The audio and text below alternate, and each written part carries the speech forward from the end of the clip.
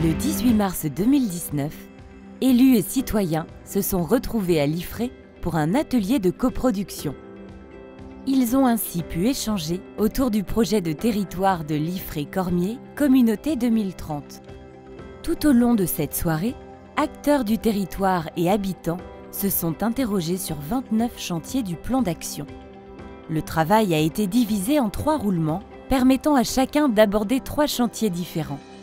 Une fois analysés, ces prospectives vont permettre aux élus de déterminer le futur de l'Ifré-Cormier communauté. Le succès de cette opération tient notamment à la diversité des participants et à la richesse de leur expérience.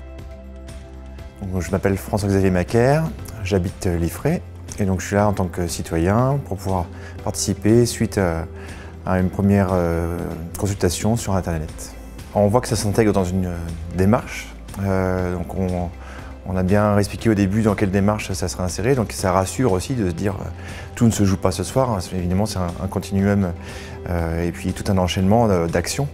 Euh, malgré tout, je pense que c'est important effectivement de, pouvoir échanger. Donc la difficulté c'est de, savoir comment vont être collectées les, remarques et, les remontées.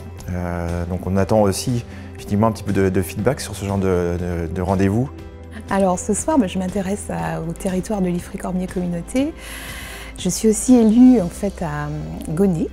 Et donc euh, voilà, c'est pour moi intéressant de voir un petit peu ce qui se développe sur le secteur pour les années qui viennent. Ben, moi j'ai bien aimé les échanges en fait qu'on a pu avoir euh, entre nous.